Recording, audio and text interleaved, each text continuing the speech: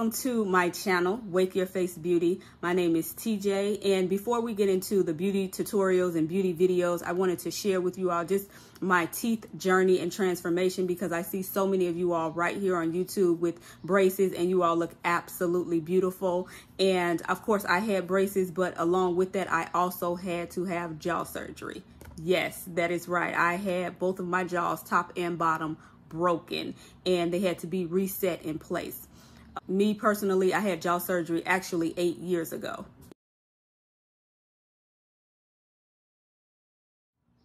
I was a candidate for jaw surgery because my jaws were not properly aligned.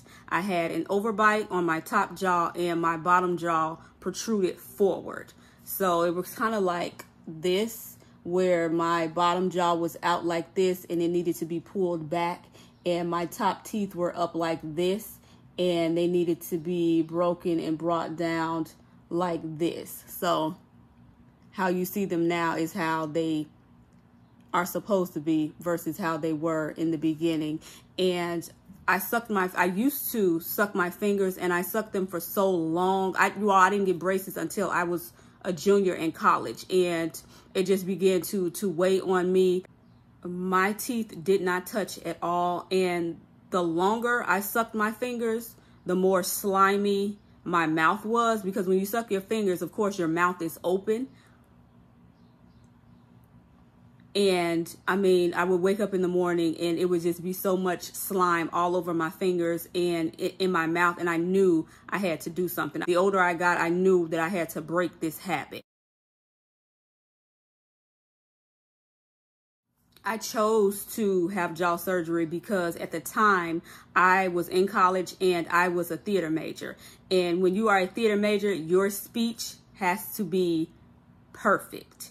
You have to be able to project your voice, especially when you audition and you know that you're going to be performing in an auditorium. You have to be able to project your voice. Even though you have a microphone clipped on you, you have to still be able to project your voice. You have to be able to articulate every word, sound, and syllable uh, so that those in the back of the auditorium can hear you clearly. When I was in college, I would audition for, you know, plays, productions at the school as well as productions outside of the school. But because of my speech, I was never able to book a show.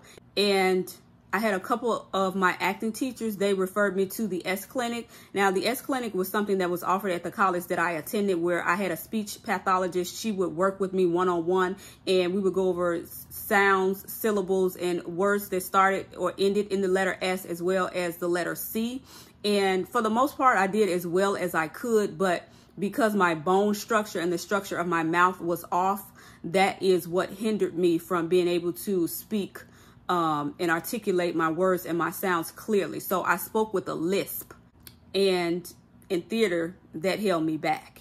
I also play an instrument. I don't play it as much now as I did in the past, but because my overbite was so bad, I wasn't able to wrap my lips around my teeth and close my mouth comfortably. So that was also another hindrance in the way that I was able to or not able to blow into my flute properly. So everything was off and I knew that I had to have surgery. The braces wasn't enough. I had to also have the surgery to correct the bone structure uh, in my jaws and in my face.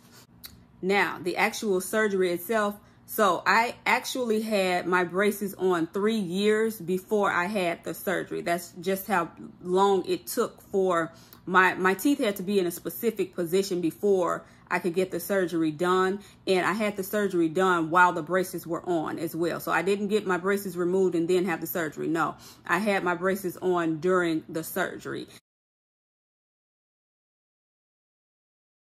Initially, I was supposed to stay overnight and go home the next day. But after surgery, my mom came to the hospital and she saw me and she's like, no, she cannot go home. She I was immobile. I was not moving. I was completely out of it from all the anesthesia. And she said, no, she needs to stay another day. And they agreed. And that extra day, um, you know, was very beneficial for me because I made sure that I was getting up, that I was walking around, that that I was sitting up, that I was sitting in my chair and not just lying in bed the, the entire day. So that extra day gave me the boost that I needed to get up. And, and I mean, I was completely I was really weak because I was on a liquid diet from having both jaws broken, but I knew I had to get up and move around.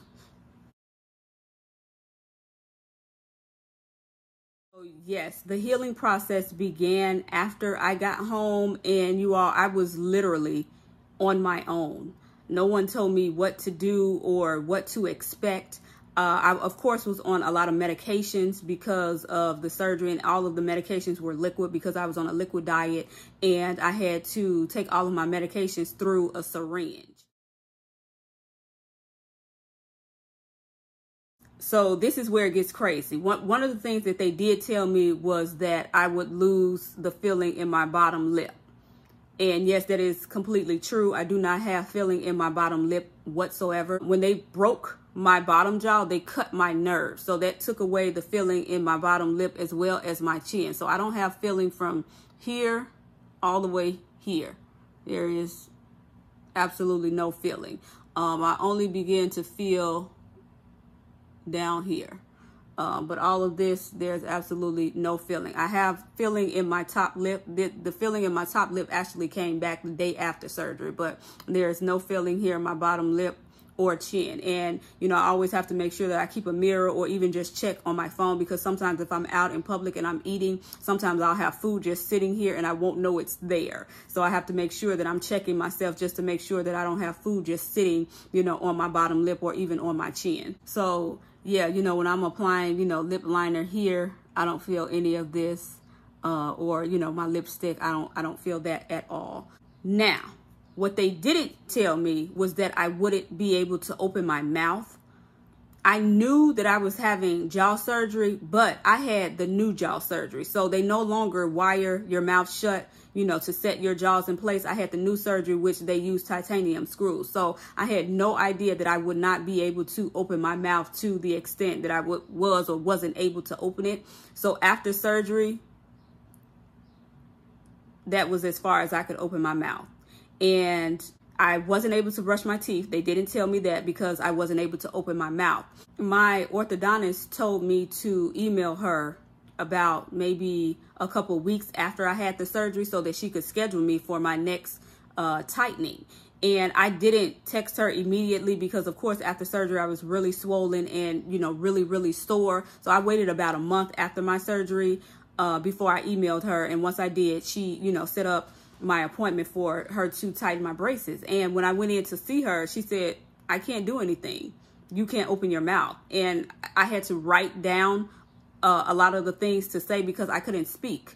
Um, I couldn't open my mouth, therefore I couldn't talk. And I told her, I said, no one told me, you know, I had this surgery. You all sent me home with no instructions on as to how to begin to heal. So I was just completely lost. And she literally gave me a stack of popsicle sticks. And she said, you know what, this is what I want you to do. She said, I want you to take these and stack them in your mouth. And she said, just each day, I want you to add one and add one and add one and add one until you are able to open your mouth all the way. And she said, you know what? While you're watching TV, watch whatever TV show you're watching. And she said, when it goes to commercial, put these in and leave these in for the duration of the commercial. And that you all, that is exactly what I did. So I just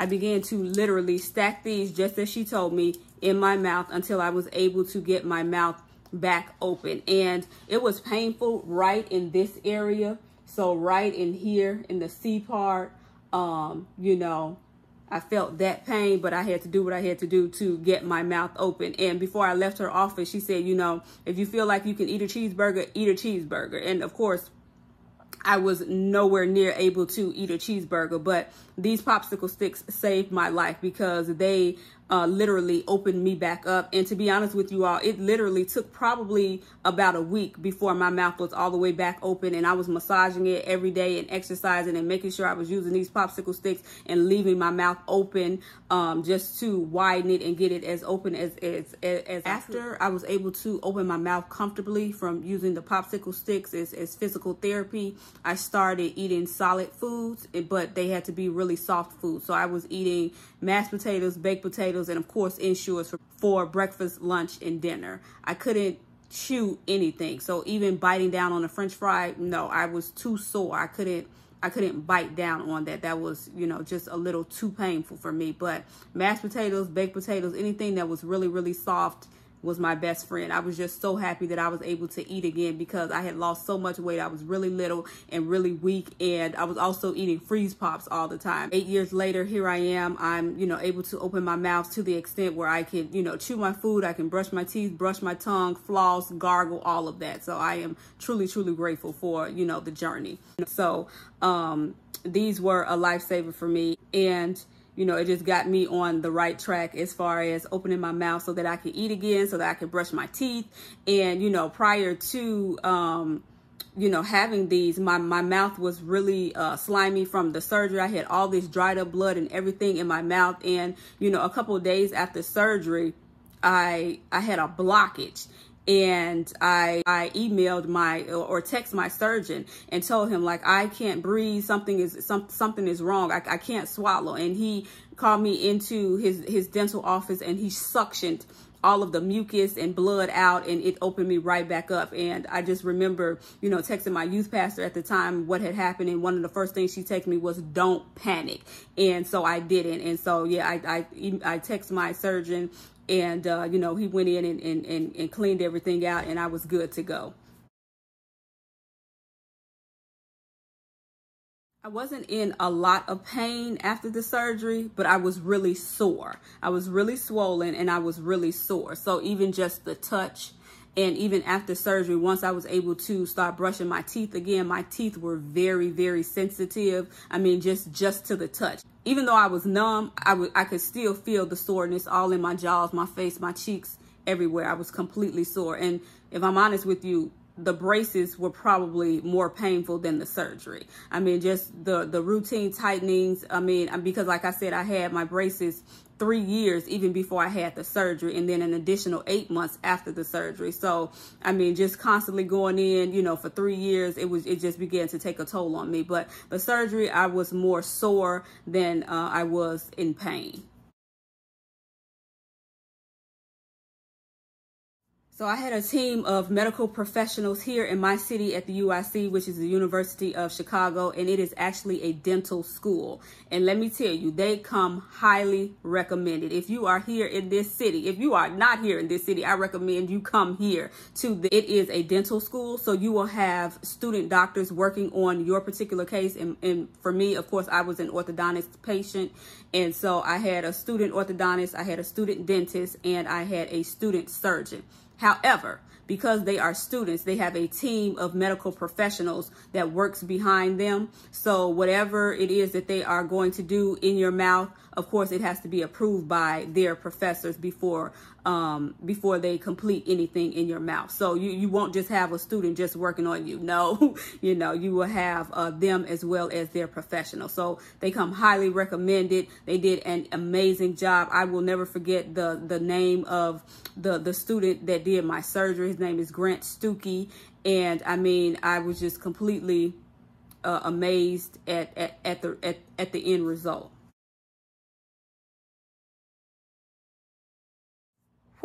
Now this is where it gets crazy. Yes, the cost was very expensive and it is not covered under insurance because this is considered cosmetic surgery. And this is where my Lord and Savior worked a miracle for me because I went in for a routine tightening and my orthodontist said, oh, I have some great news for you.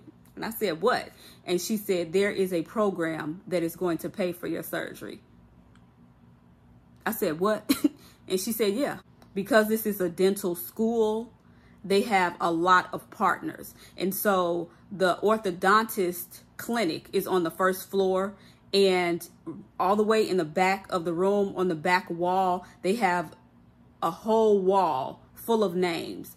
And these names are the names of the partners that they have teamed up with. And I believe these are the individuals that are responsible for uh, covering the cost of my jaw surgery because the names are listed on the back wall. And, you know, for example, the first column will have a list of names of uh, partners who donated between five and ten thousand dollars and then the second column will have uh, the names of those who donated between ten and twenty thousand dollars and and the third column has the names of those who donated between twenty to forty thousand dollars. So they have partners who, you know, donate an extensive amount of money. Probably a year before I had the jaw surgery, I went in for the consultation for the jaw surgery, and my sister accompanied me and we met with the surgeon and he said you know what? We are going to have to do your surgery in the hospital because you have to have both jaws broken. Normally if you only have to have one jaw broken they can do your surgery in a clinic.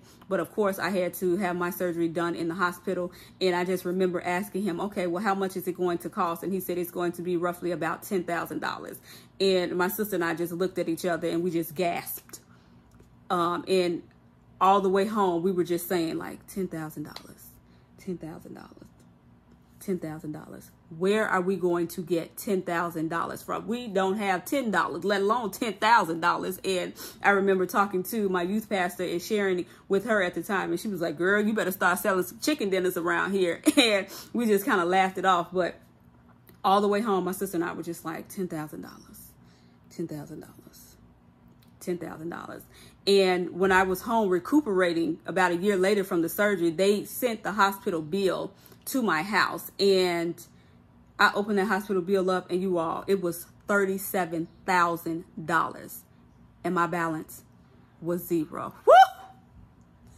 Hallelujah. Thank you, Jesus. Nobody gets the glory in that but him. And my family and I were like, wait a minute, how did they go from $10,000 to $37,000? And, you know, it's probably because I did stay in the hospital an additional day and, you know, they ran tests. You know, they wanted to make sure I didn't have any infections, you know, orally inside of my mouth. And I mean, we, we were completely taken aback. And so, I mean, I am truly, truly grateful for, you know, not having to come out of pocket for any of that. And I know that that was nobody but God's hand working a miracle for me.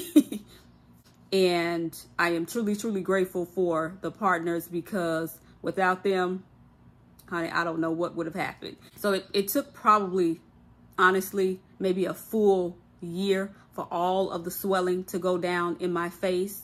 And I just remember the day that I got my braces removed, it was literally the the happiest day of my life. I had my braces on an additional eight months after the surgery because they still needed to move in place a little bit. And I the the day that I went in and and I, I knew this particular day I was getting them off. We we had scheduled like okay, your your next visit is going to be your last one, and uh, I still had the ridges on the bottom of my teeth. And I remember my orthodontist she drilled you know, the bottom of my teeth straight and that that's not even something that she was supposed to do. So, you know, it's just those extra little touches that that just mean the world, you know, when people go out of their way to do just those little subtle things for you that they don't have to do. And so here I am 8 years later. Of course, the swelling is gone completely down. I am doing well. I am 110% satisfied with the results. And even with my bottom lip and chin still being numb, I don't care. I am completely satisfied and happy. I do have one mishap, but it's completely my fault. I have this space here because I was being so greedy and eating an apple. Of course, when I'm eating an apple, I already have to cut it up, but I was eating an Affy-Tapple and once I got to the end, once I had eaten all of the portion that I had cut up, I picked up the stick and just started eating the rest of it. And I made, I mean, it just caused this shift that you see right here. So I'm completely mad at myself for that. Even though I'm no longer in theater um, and I don't play my instrument as, as much as I used to, I'm still truly, truly grateful for uh, just the transformation because it has definitely put, you know, a smile on my face that, you know, no one can erase.